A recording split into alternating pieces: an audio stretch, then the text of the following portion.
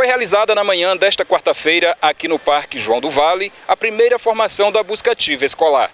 Esse encontro foi voltado para os profissionais que atuam no programa e para outros órgãos parceiros. Pedreiros leva muito a sério a educação e a busca ativa escolar não fica de fora disso, Sandro. E aí a gente faz esse trabalho, que é o trabalho de prevenção, porque a gente sabe que um dos males da educação hoje é a evasão escolar, os alunos que deixam a escola. Então nós temos um sistema, a partir de cinco faltas esse sistema já dispara e nós temos os nossos técnicos que vão em campo em busca desse aluno, conversar com a família, entender o contexto que levou a essas faltas, porque o objetivo é que esse aluno volte o mais rápido para a sala de aula e possa continuar com o seu aprendizado vida escolar. Então a busca ativa está aqui, é um dia de formação, de oficinas, nós estamos buscando estratégias para melhorar essa nossa abordagem, porque a nossa intenção, a intenção do governo é que o aluno esteja em sala de aula aprendendo. Hoje a gente está é, apresentando os motivos de exclusão, a nossa resolução já aprovada pelo Conselho Municipal de Educação, onde a criança ou adolescente pode ser matriculada a qualquer tempo, a qualquer época do ano, e alguns manuais atualizados, né, com as novas resoluções que o Unicef está disponibilizando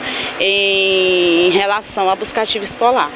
Coordenadora, após a ativação desse programa que é o Busca Ativa Escolar, você acredita que o número de evasão escolar diminuiu? É, é um sonho né, da gente ainda a evasão diminuir, mas a gente sabe que são inúmeros fatores que não depende só das secretarias, só das escolas. Depende também muito das famílias, de toda uma rede intersetorial.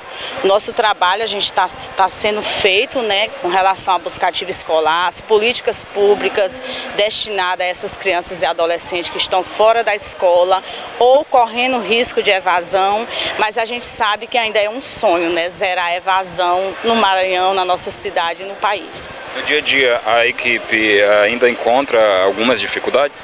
Encontramos, às vezes a gente encontra muita dificuldade com relação à localização de endereço, porque tem famílias que mudam constantemente de endereço, né? A gente tem uma das maiores dificuldades agora também é o envolvimento dos jovens com a questão das facções, né? Muitos jovens nossos sumidos.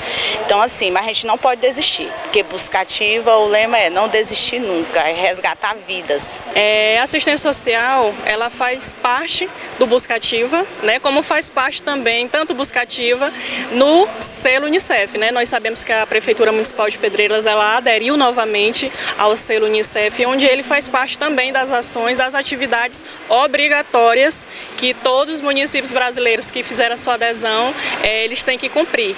Então, a assistência social, quando nós recebemos o alerta né, do, do buscativo escolar, através de, ou de um agente de saúde ou dos coordenadores, é, já buscamos identificar quais são as, os possíveis motivos daquela criança ou daquele adolescente estar fora da sala de aula. Então, a gente precisa saber se é de desinteresse da criança ou do adolescente, o que causou esse desinteresse, né? Se é desinteresse dos pais, infelizmente, porque aí já incube já um tipo de violação de direitos que é a negligência.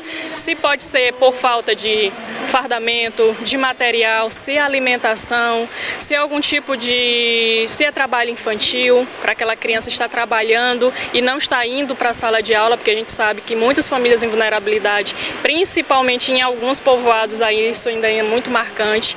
Então, com isso a gente identifica a nossos técnicos, assistente social e psicólogo, eles vão em loco na casa, né, para poder começar o acompanhamento daquela família, não só da criança ou adolescente, para poder identificar e fortalecer. Busca ativa é um projeto que veio para agregar nossas crianças é porque fora da escola não pode, né?